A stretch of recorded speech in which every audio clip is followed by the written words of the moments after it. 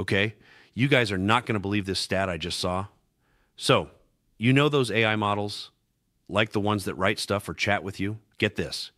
Between late 2022 and basically now, heading into late 2024, the cost to actually run one of those things has dropped, wait for it, 280 times, 280.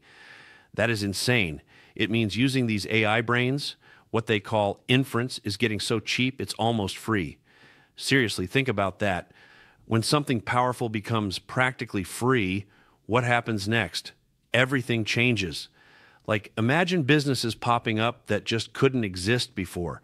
Maybe hyper personalized coaching for literally anything fitness, learning guitar, cooking, constantly adapting to you in real time because running the AI is no big deal cost wise. Or what about customer service bots that are actually like really smart and helpful, available instantly 24 7 because it doesn't cost a fortune for them to think. Maybe even crazy creative tools that help anyone design, write, or compose complex stuff without needing years of training. The AI does the heavy lifting in the background, super cheap. It just unlocks so much potential. When the cost barrier disappears like that, wow. We're talking totally new ways of doing things, new kinds of companies.